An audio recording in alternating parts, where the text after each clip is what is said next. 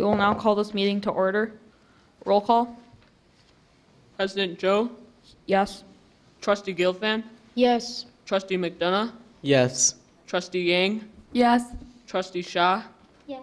Trustee Panos, Yes. and Trustee Valetti. Yes.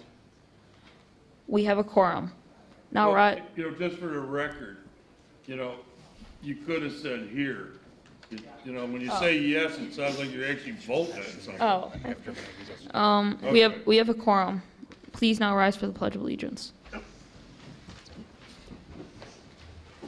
I pledge allegiance to the flag of the United States of America and to the republic for which it stands, one nation, under God, indivisible, with liberty and Justice for all. Are there any citizens wishing to address the board? How about me? Do I count? You're, you're the mayor. Trustee Cook's gonna address the board. I, I'm, my name is Tom Cook. I'm, I live uh, on Stevenson here in Vernon Hills, and I just wanted to comment coming in. I, I know a number of these young people from over at Hawthorne and that, and uh, I was just talking to our uh, village engineer, and he was talking about how impressed he was all day meeting with them about the questions they ask and stuff. And I said, yeah, these are some of the best we got, and they're emblematic of a lot of the kids we got in town. So congratulations to all of you on being here. Thank you. Thank you. Okay, give yourselves a hand, huh? I thought Tom was gonna go do, into uh, an explanation of what a sump pump does at your house. Oh, wasn't that, uh? We're on concrete slabs. You're okay? Yeah. So you don't need any peripheral drain tiles? Okay. Um, we will I now, digress. we will now be starting the officials' reports. Um, proclamation. A proclamation honoring the Village of Vernon Hills for sponsoring students from Hawthorne Middle School North, District 73, Vernon Hills High School, District 128, Daniel Wright Middle School, District 103, and Hawthorne Middle School South, District 73, and Student Government Day, and further recognizing Village President Roger L. Byrne, Trustees Schultz, Hebda, Schwartz, Markart, Cook, and Williams, Village Manager Kalmar, Assistant Village Manager Carey, Finance Director Nakarin, Chief of Police Fleshauer, Public Works Director slash Village Engineer Brown, and Building Commissioner Atk- Atkinson. Whereas the day of May 5th has been declared Student Government Day in Vernon Hills, and whereas the Village of Vernon Hills strives to provide quality educational programs and services to obtain necessary skills and knowledge for future endeavors. And whereas the Village of Vernon Hills wants to provide direct experiences to students, encouraging their interest and participation in local government.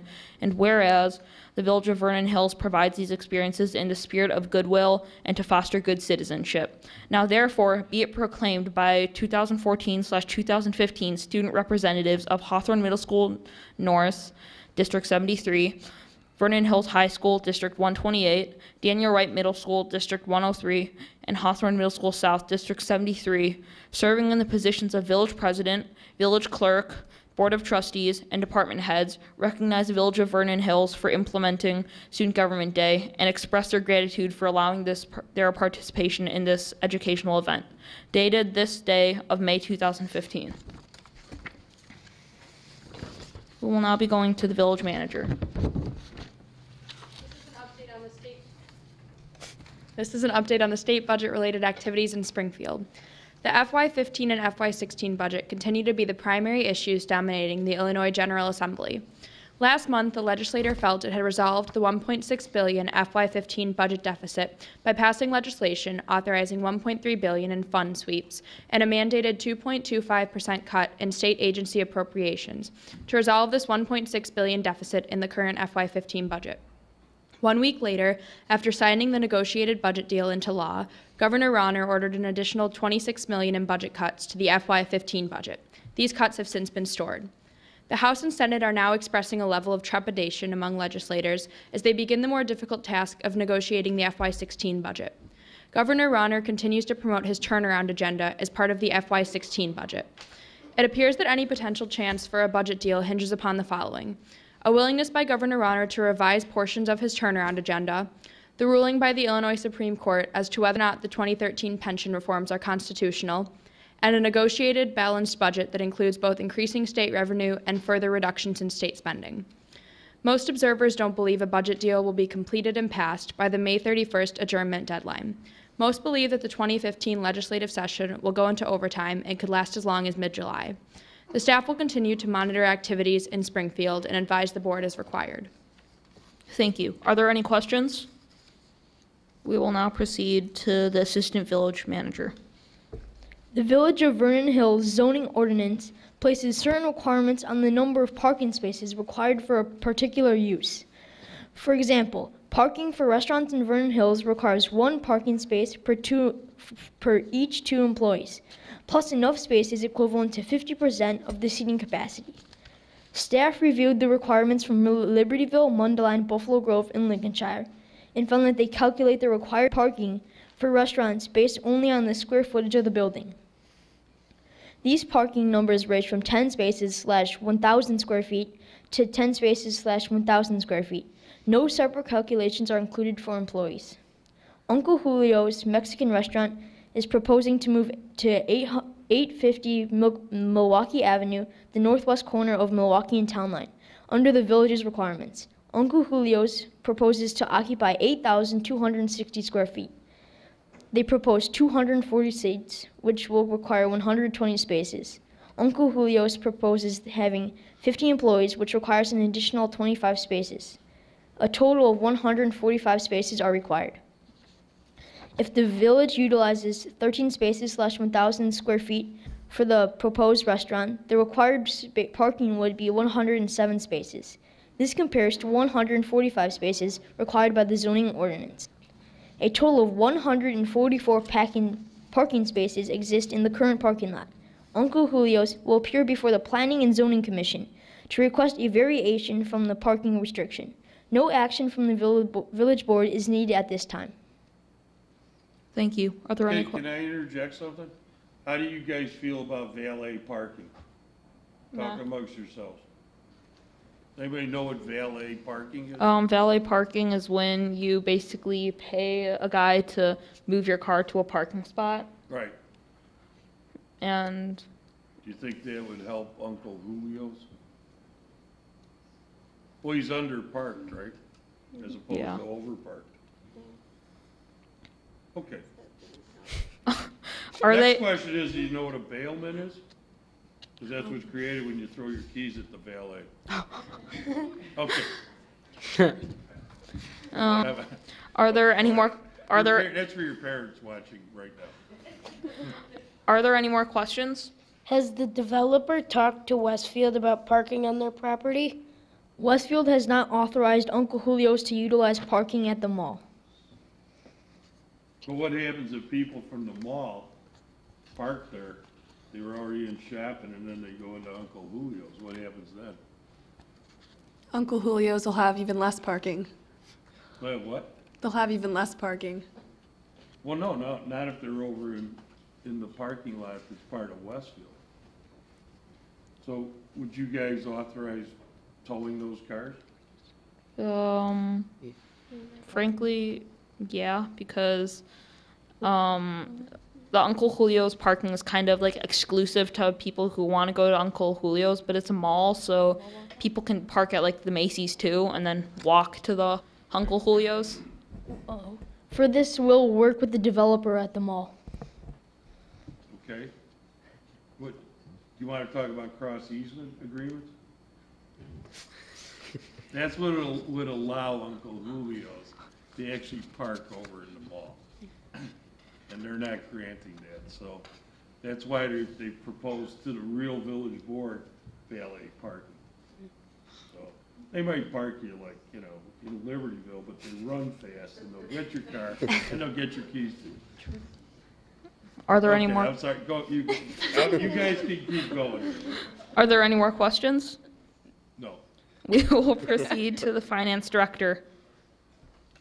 The state of Illinois is facing a $9 billion deficit for their fiscal year that begins July 1st. In an effort to balance the budget, Governor Rauner has proposed several changes that may affect local governments. The most pressing issue from a financial perspective is the proposal to cut the local government distributive fund by 50%, which provides a share of Illinois income taxes to local governments.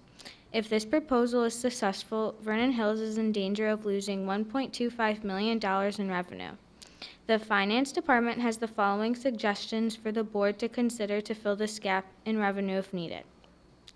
Implement a food and beverage tax on all restaurants in Vernon Hills, which will produce approximately $800,000 in annual revenue. Implement a tax on natural gas tax usage that could produce $500,000 in annual revenue. Increase the telecommunications tax to produce $200,000 in annual revenue. And reinstate the vehicle sticker program at a cost of $20 per vehicle, which is estimated to produce $800,000 annually. Thank you. Are there any questions?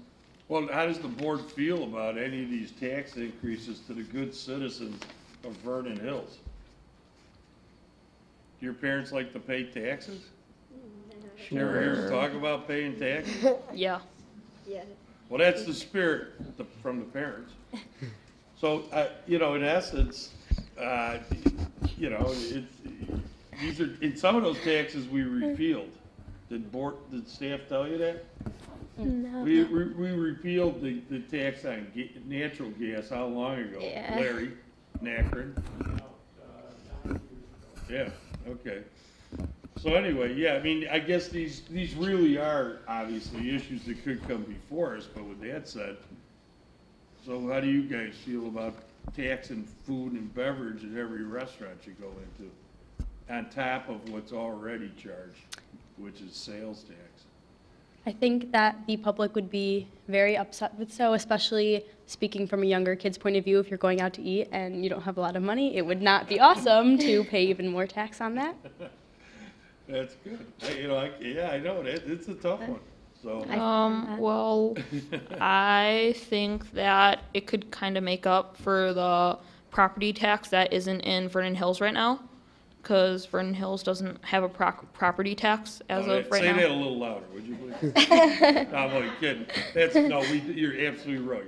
So staff did a good job today preparing you guys with that statement. Okay, Are there any more questions? no. We will now proceed to the Director of Public Works. I would like to provide an update on the Emerald Ash Borer infestation. In 2010, there were 3 er, 3,500 village owned ash trees when EAB was discovered. After spring 2015, 771 ash trees will remain. We anticipate we will remove another 600 plus trees next spring. In 2016, less than 200 ash trees will remain. Some are being treated either by homeowners or the village. After spring 2015, the following will have been spent for EAB.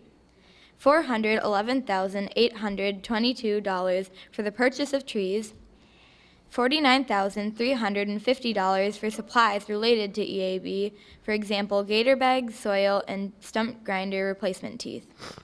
$345,000 for contract tree removal and tree planting, and $20,732 for TREE-äge treatments on select golf course trees, Sullivan Row trees, and Route 60 medians. In total, there will be $826,900 spent on EAB after spring 2015 planting. Does anybody know what, you know, an ash borer is? Um, well, an emerald ash borer is a bug that goes inside of a tree, lays its eggs, and then cuts off the circulation to the tree in a vicious cycle. And then Right. it What kills part off of the the tree tree. dies first? Uh, the roots? I believe the roots. Don't we go higher, Dave Brown? Um, Don't you notice it at, at the top first? oh, yeah. The leaves start withering. What, what's, the- what's- what's the answer? So, Yes, the, um, the trees are noticeable by, um, by the top of the trees, it tries to re-sprout, and it doesn't look, uh, natural, and we also, as uh, our mayor always says, there's always woodpeckers that are going, trying to eat the larvae, so they're pecking there, So when you see a lot of woodpecker marks on a tree, you may want to go look at that tree. Because that tree has ash borers. Okay. Now, how, Mayor, how do we handle, like, taking down ash trees on, on, on private part, property? Should we do that? Um, well, in order to stop an invasive species from growing more widespread, I think we should um, try to remove as much um, emerald ash borer infected trees as possible before it starts to spread and wipe out the whole ash tree population. So you would pay public funds to go on private property to do that? No. I'll get back to you later about that. That's a very good answer. Because we really can't spend money to do that, you know? At least I've been told that many times by corporation counsel, village attorney slash, and then, of course, Larry Nackern. So, Are there any more questions? I have a question. As a resident whose tree has been removed, how long can I expect until a new tree will be planted? Um, less than one year. Thank you. We will now proceed to the chief of police. Thank you, Your Honor. I will now be addressing the Internet Transaction Safe Zone. Last year, an elderly couple was found murdered in Marietta, Georgia, following a Craigslist deal that went horribly wrong. In the aftermath of that investigation, the Marietta, Georgia Police Department established what they have referred to as a Craigslist Safe Zone. As a follow-up to the news release on the Today Show, a lot of interest has been generated in establishing similar safe zones in local police departments. After all, where will you feel safer than inside a police station? We, we have had several inquiries from the community on this issue, and we are now researching the possibility of establishing the Vernon Hills Police Department as a safe zone. Given the fact that electronic forms of communication and sales go far beyond Craigslist, we are tentatively planning on calling it an Internet Transaction Safe Zone. If the board concurs, we would like to begin developing the policies and procedures necessary to establish an Internet Transaction Safe Zone within the Vernon Hills Police Station. Um, this sounds like an excellent idea. Is there a fee for using the police station, and do we have to call to make an appointment? No, there is no fee for using the service, and you will not have to make an appointment. Since the police station is open 24 hours a day, you can simply make arrangements with the buyer or seller to meet at the police station. And does a police officer need to be present when the transaction takes place? No, the police department is simply providing a safe and secure place to conduct business, especially when meeting with complete strangers. I would like to make a motion that the police department be authorized to ri- establish an internet transaction safe zone within the police department. I second that notion. Under comments or questions? No? There- Um, You gonna ask the board if there's any comments or questions? Any comments or questions? Yeah. Uh, You can also use the parking lot for a transaction. Yeah, okay? they So told if us you're about that. Selling cars or, you know, something that's kind of big and bulky, you can also use the parking lot. So you don't have, you- of course, you can go inside the building, so. Roll call? President Joe, Here. Trustee Gilfin, Here. Trustee McDonough, Here. Trustee Yang, Yes. Trustee Shaw, Yes. Trustee Panos, Yes. and Trustee Valetti. Yes. Motion carries. We will now proceed to the building commissioner. A new concept restaurant called Mod Pizza is proposed in River Tree Shopping Center. More specifically, the restaurant would be located within a portion of the building currently occupied by Ross Dress for Less. The building size and orientation would remain the same, however, the following changes are proposed. The canopy over the main entrance will be increased in height, and the sign band on the south elevation will be clad with a metal finish material.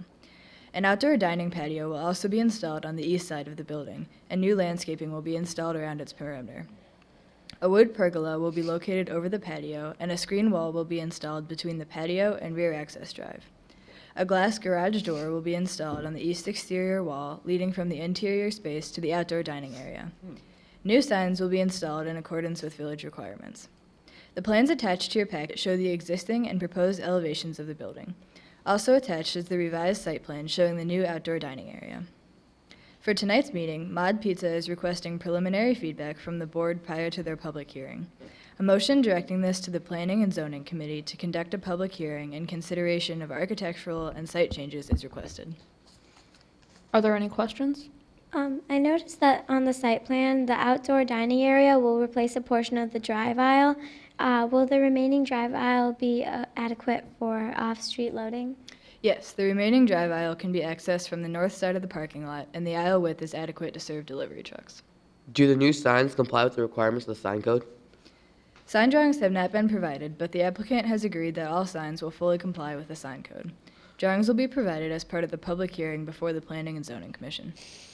I'd like to make a motion to refer this matter to the Planning and Zoning Commission for a public hearing to consider architectural and site plan changes. I second that motion. Roll call. President Joe? Here. Trustee Gilfan? Here. Trustee McDonough? Here. Trustee Yang? Yes. Trustee Shaw? Yes. Trustee Panos? Yes. Trustee Valetti? Yes.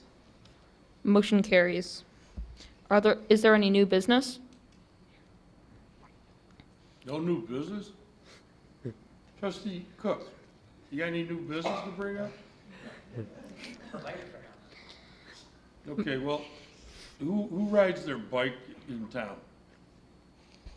Does anybody on the board ride a bike? You all, you have driver's license already? The ones that don't raise their hands? So you don't ride your bike anymore, you just drive around town? I walk. Well, you're, the ones that don't ride your bike anymore, you're part of the problem now, It's just like us adults. With that said, every year, uh, you know, someone, probably me, uh, he- mentions to Dave Brown, our Public Works Director, that you trim trees and, and, and trees that, you know, people can hit while, you know, possibly riding a bike because limbs are hanging over. And, uh, we have a pretty elaborate bike path system throughout town. And uh, we're gonna, you know, continue to actually add more sidewalk slash trails all over town. And we continue to, uh, you know, actually, you know, make it connective. And uh, I don't know how many miles we have. It's probably, John, do you, where's John Calver? How many miles do we have of bike paths? And then foliage that kind of get intrude and, I'd probably say somewhere between ten and fifteen miles potentially, and I don't know how much vegetation miles on top. right, it just depends on where you're riding and, but with that said, so I'd like to bring that up and make an appeal to Public Works, you know, to actually make it safe for walkers, bikers, and joggers with all the foliage that now is in full bloom. So happy spring to everybody. Okay, Mr. President. Um, motion to adjourn the meeting? Is there a I- motion? I motion that. Is there a second? I second that. Okay, there's no discussion, no questions. Roll call. Roll call. President Joe? Aye. Trustee Gilfan? Here. Trustee McDonough? Here. Trustee Yang? Yes. Trustee Shaw? Yes. Trustee Panos? Yes. And Trustee Valetti? Yes. All in favor, say aye. Aye. Aye. Aye. This meeting is now adjourned. there you go. Well, good job.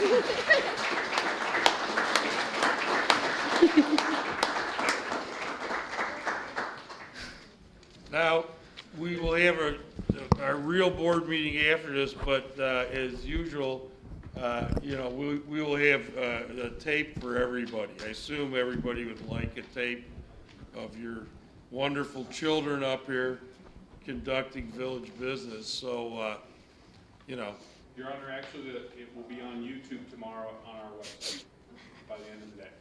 okay. So you'll have So you- access to YouTube, and if you'd like an individual copy, let us know. Other than that, you, if you want to stay for the village board meeting, it's okay. If you want to leave, I'd understand completely. And we will take a break for what, about ten minutes? Because there's a cake out there for just calling my name. everybody here, right? And the parents and, other than that, is, you want to say anything, Mayor? Alex, about your day here? It was extremely nice. I learned a lot and I really enjoyed it. I also got to miss standardized texting, so that's good. Any- Anybody else, anybody else, why don't you guys make a comment on what you did today? It's okay, you know?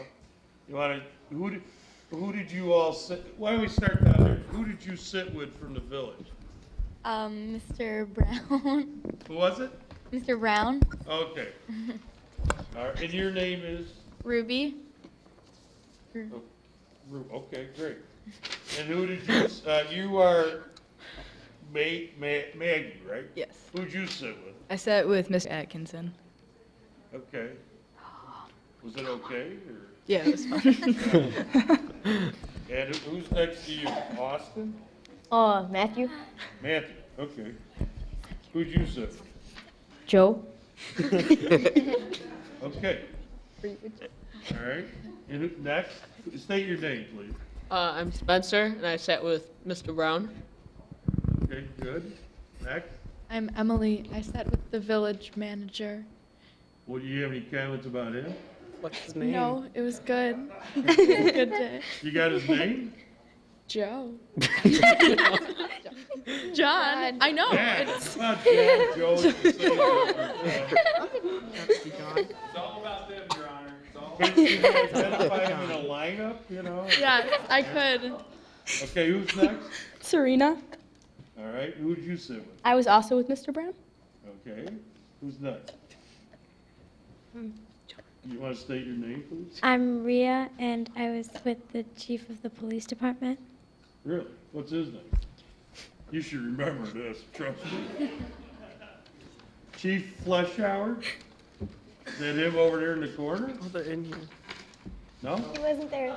He Oh, who wasn't did there you- today. oh, uh, Rick he wasn't there today. You were with Deputy Chief Davies. Okay. Yeah. Did he give you any sage advice? I mean, good advice? Yes. About what? He said that if you're gonna buy stuff online, we should always use the internet safe zone. Internet- Internet safe on the transaction. internet? Internet. eh, internet transaction safe zone. Okay, all right. Oh, that, okay, fine. Who's, and who's next, next Um, to the mayor here? I'm Marika, and I was with Mr. Kalmar. Okay, and what, what did you talk about with him?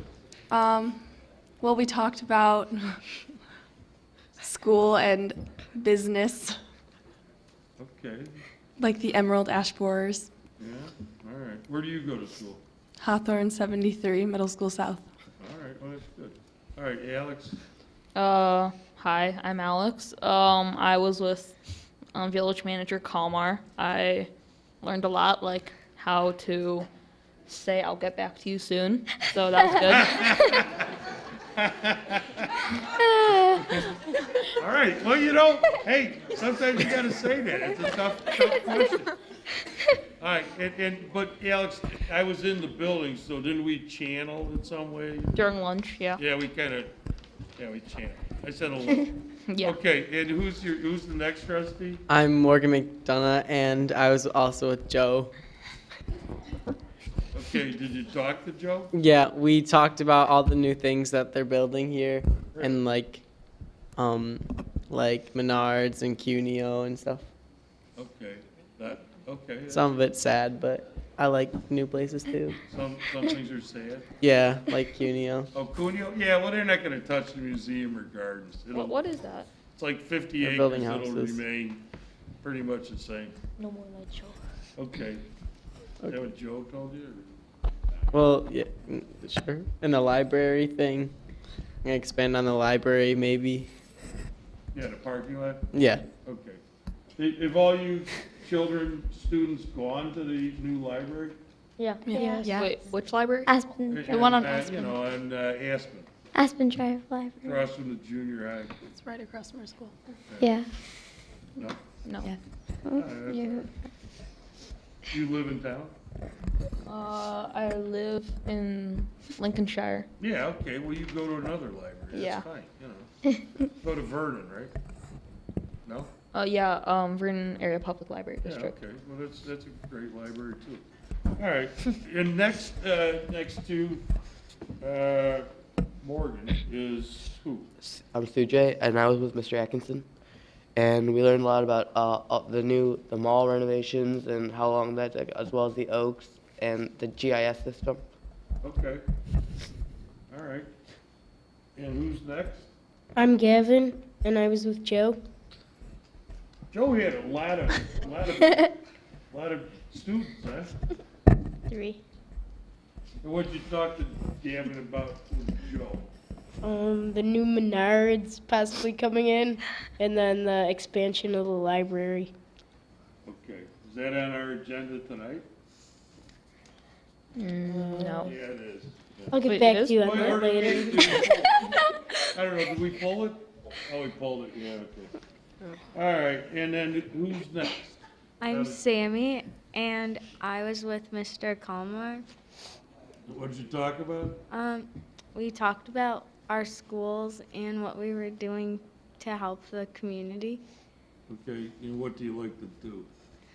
Um, like we were talking about how like student council makes donations. Oh, yeah? Yeah. Okay. Okay, and who's next to you? I'm George, and I was also with um, Village Manager Kalmar,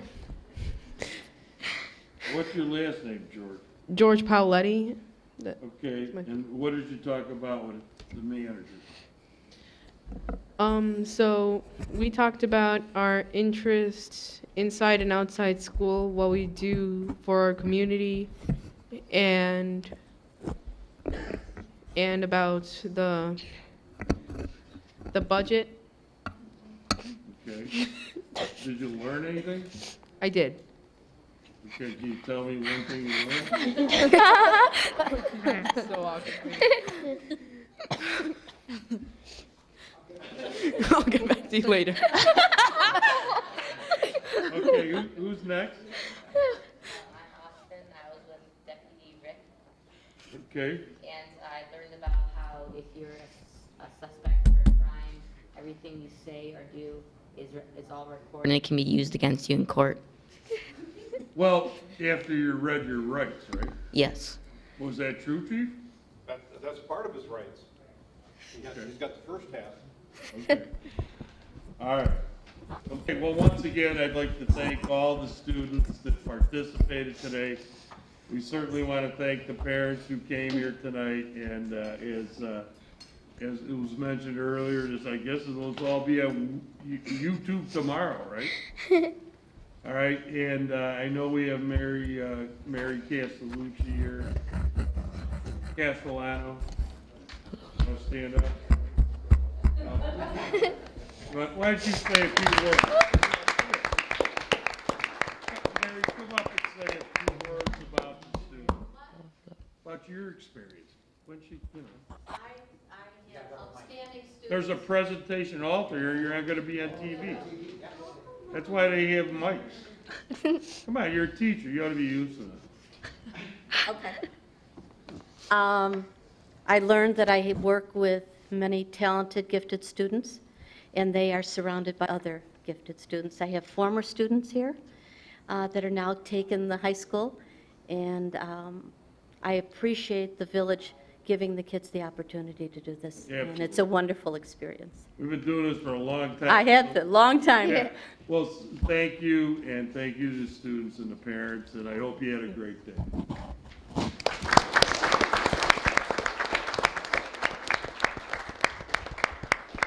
Okay, you're all excused. Hello. We gotta pick up the pace here because the hogs are.